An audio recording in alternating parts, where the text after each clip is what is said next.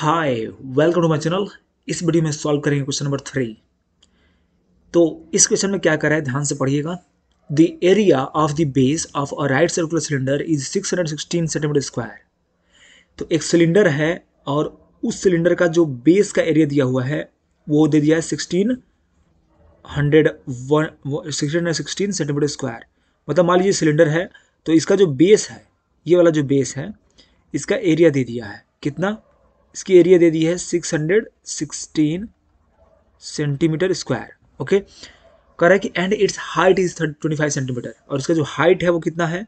25 centimetre है, यहाँ से यहाँ तक। तो पूछ रहा है कि find the volume of the cylinder अब इसका वॉल्यूम पूछ रहा है। तो देखिए वॉल्यूम निकालने के लिए आपको जानते हैं फॉर्मूला क्या होता है। पाई आर स्क्वायर एच तो पाई आर स्क्वायर एच यदि फॉर्मूला होता है तो उसमें से क्या निकालना पड़ेगा आपको? पाई आर स्क्वायर एच है तो आर रेडियस निकालना पड़ेगा और हाइट निकालना होगा, ठीक है? तो रेडियस और हाइट हाइट पता है आपको यहाँ पर 25 सेंटीमीटर लेकिन आपको रेडियस नहीं पता तो रेडियस को फाइंड करना पड़ेगा अलग तरीके से, है कि नहीं? तो रेडियस को फाइंड करने के लिए जो यहाँ पर पहले पहले दिया हुआ है कि base of area of the base of right circular cylinder is six hundred sixteen centimetre square इसका यूज़ करना पड़ेगा और उसका यूज़ करके हम रेडियस निकाल सकते हैं। तो रेडियस निकालने के बाद ही आप इसका वॉल्यूम जो है निकाल सकते हैं। चलिए पहले पहले हम इसका यूज़ करते हैं और पहले निकालते हैं रेडियस सॉल्यूशन तो सिंस दिया हुआ है area of the base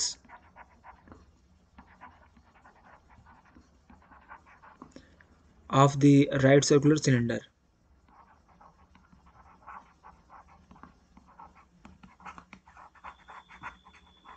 right circular cylinder ये आपका दिया हुआ है six hundred sixteen centimetre square. तो हम जानते हैं कि जो बेस होता है वो सर्कुलर होता है। तो सर्कुलर होता है तो सर्कुलर रीजन का जो एरिया होता है, वो आप देते हैं पाई आर स्क्वायर से। तो पाई आर स्क्वायर इजक्वल हो जाएगा six hundred sixteen centimetre square right अब यहाँ पर पाई की वैल्यू यदि नहीं दिया है क्वेश्चन में तो आपको twenty two by seven use करना है। इनटू आर जो रेडियस है, वो तो निकालना ही आपको तो ऐसे आर स्क्वायर लिखे रहिए 616 सेंटीमीटर स्क्वायर यहाँ पे हो गया। अब यहाँ पे यूनिट को आप मतलब ड्रॉप कर सकते हैं कुछ देर के लिए और लास्ट में आपका जो यूनिट आएगा वो रख देंगे। हमें निकालना है आर स्क्वायर तो आर स्क्वायर क्या हो जाएगा? ट्वेंटी बाई सेवन से इधर क्या करेंगे? ट्रांसपोज कर देंगे। तो ध्यान रखिएगा, जब ट्रांसपोज करते हैं तो जो डिनोमिनेटर में होता है मतलब सेवन, उसे हम मल्टीप्लाई करते हैं और जो न्यूमिनेटर में होता है उससे हम डिवाइड कर देते हैं। दैट्स इट अब बस ये कॉन्सेप्ट बनाए रखिए, आराम से सॉल्व कर सकते हैं।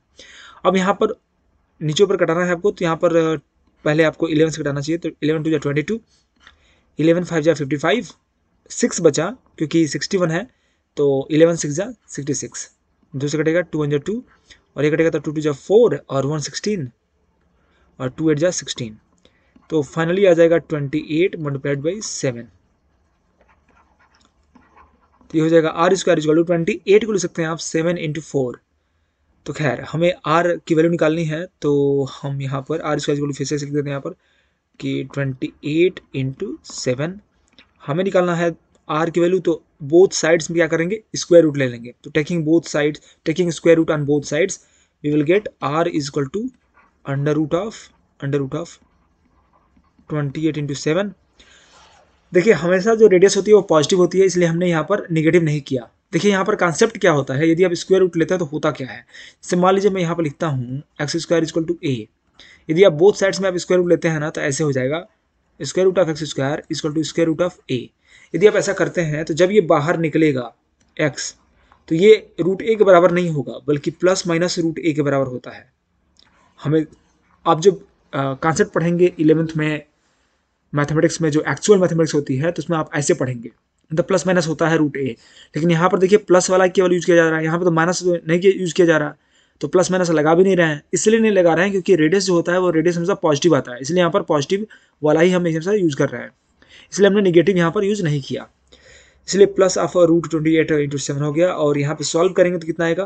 देखिए ट्वेंटी एट को फैक्टराइज कर लीजिए seven into two into two into ये सेवन पहले से है। यहाँ देखिए दो दो का पेयर बनाते हैं तो सेवन बाहर निकलेगा इन टू यहाँ से दो पेयर का टू निकलेगा एक तो सेवन टू जो फोर्टीन मतलब कि आपका आ गया सेवनटीन फोर्टी सेंटीमीटर ये आ गया रेडियस अब आप निकाल सकते हैं वॉल्यूम ऑफ़ द सिलेंडर तो यहाँ लिखना पड़ेगा so volume of the cylinder is equal to pi r square h pi r square h means area of the base into height ठीक है तो पाई की वैल्यू होती है twenty two by seven multiplied by r square means fourteen का square multiplied by h h means twenty five centimetre यहाँ से देखिए, अभी अच्छा सेवन सेंटीमीटर करें सॉरी यहाँ पे कटाना नहीं है अभी। अब यहाँ पर क्या कर लीजिए twenty two by seven multiplied by fourteen को ब्रेक कर लीजिए फोर्टीन स्क्वायर को लिख दीजिए fourteen into fourteen multiply by twenty five देखिए सेवन हो जाए सेवन सेवन टू जाए फोर्टीन हो जाएगा। अब यहाँ मल्टीप्लाई कर सकते हैं। तो हम कैसे मल्टीप्लाई करेंगे? आ, आपको सोचना होगा कैसे मल्टीप्लाई करना है। देखिए यहाँ पर यदि आप ये करते हैं डायरेक्टली कर दीजिए क्या दिक्कत है? यहाँ हो जाएगा फोर्टी फोर टू टू जा ट्वेंटी टू टू जा फोर्टी फोर हो जाएगा मल्टीप्लाइड बाई ट्वेंटी फाइव से फोर्टीन में कर लीजिए। ट्वेंटी फाइव फोर जा हंड्रेड होता है कि zero ten carry over and twenty five twenty five and ten thirty five तो ये हो जाएगा थ्री हंड्रेड फिफ्टी अब यहाँ मल्टीप्लाई कर लेंगे तो हमारा आ जाएगा क्या? फोर्टी फोर में मल्टीप्लाई कर लेते हैं थर्टी फाइव से। तो ये हो जाएगा फाइव फोर या ट्वेंटी का ज़ीरो टू कैरी ओवर फिर हो जाएगा ऐसे ऐसे करिए तो फाइव फोर या twenty and four three twelve twenty और twelve thirty two thirty two and two thirty four thirty four का फोर हो जाएगा थ्री कैरी ओवर अब यहाँ पर ऐसे ऐसे मल्टीप्लाई कर लीजिए। फोर थ्री या twelve twelve and three twelve and three fifteen हो जाएगा। मतलब इतना आएगा। तो ये हो जाएगा वन फाइव फोर ज़ीरो और एक और ज़ीरो यहाँ पर है तो इतना हो जाएगा। Fifteen thousand four hundred centimetre cube this will be the volume of the required cylinder sorry, the given cylinder okay, thank you so much for watching bye